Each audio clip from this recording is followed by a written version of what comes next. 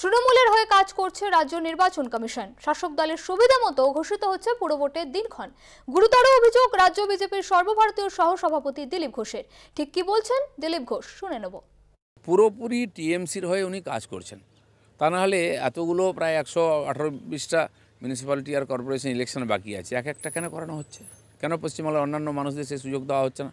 তো যখন টিএমসি চাইবে যে জিতবে, তখন বলবে, তিনি তখন নির্বাচন করবেন।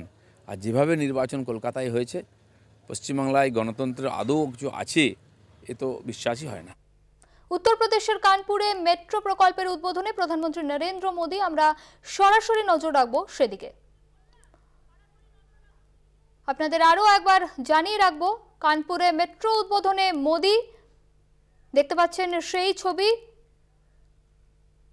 উত্তরপ্রদেশের কানপুরে মেট্রো প্রকল্পের উদ্বোধনে প্রধানমন্ত্রী নরেন্দ্র মোদী। দেখতে পাচ্ছেন সেই ছবি কলকাতা টিভির পর্দায়। সঙ্গে রয়েছেন যোগী আদিত্যনাথও। কানপুরে একাধিক প্রকল্পের উদ্বোধন করবেন প্রধানমন্ত্রী নরেন্দ্র মোদী। ইতিমধ্যেই কানপুর মেট্রোর উদ্বোধনে পৌঁছে গিয়েছেন প্রধানমন্ত্রী নরেন্দ্র মোদী। সঙ্গে রয়েছেন উত্তরপ্রদেশের মুখ্যমন্ত্রী যোগী আদিত্যনাথও। কানপুরে একাধিক কর্মসূচি রয়েছে, নরেন্দ্র মোদীর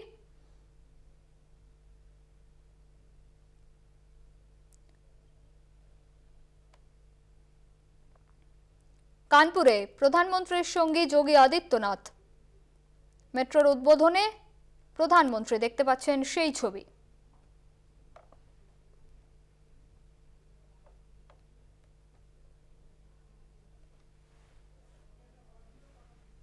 দেখতে পাচ্ছেন সেই ছবি। কানপুরে মেট্রো প্রকল্পে উদ্বোধনে প্রধানমন্ত্রী নরেন- নরেন্দ্র মোদী এবং এর আগে কানপুর আইআইটির সমাবর্তন অনুষ্ঠানেও যোগ দিয়েছিলেন প্রধানমন্ত্রী নরেন্দ্র মোদী। আমরা নজর রেখেছিলাম সেই খবরেও। তারপর মেট্রোর উদ্বোধনে প্রধানমন্ত্রী। এছাড়াও এরপর একাধিক প্রকল্প রয়েছে, তার প্রকল্পের উদ্বোধন করবেন তিনি।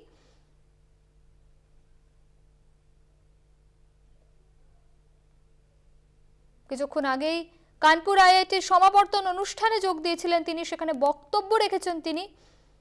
এবার কানপুর মেট্রোর উদ্বোধনে মোদী।